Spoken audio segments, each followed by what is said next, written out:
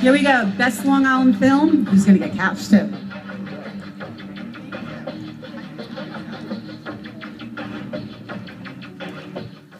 You're a smart fellow, Pasquale.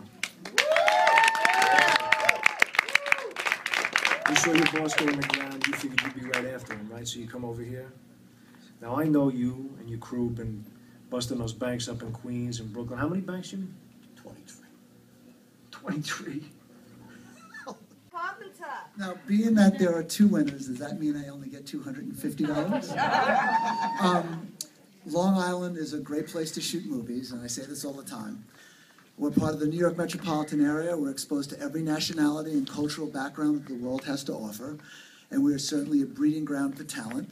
Big shout out to our director of photography, uh, Sean King, uh, Russ Camarda, who got Best Actor in a Film, Best Film Editor, and Vincent Nigro, who also won the award for Best Score, mm-hmm. and our great casting director, Marion Jean Nino, and my co-producers, Mike Abaway, Anthony Richards. Love you guys. Thank you so much.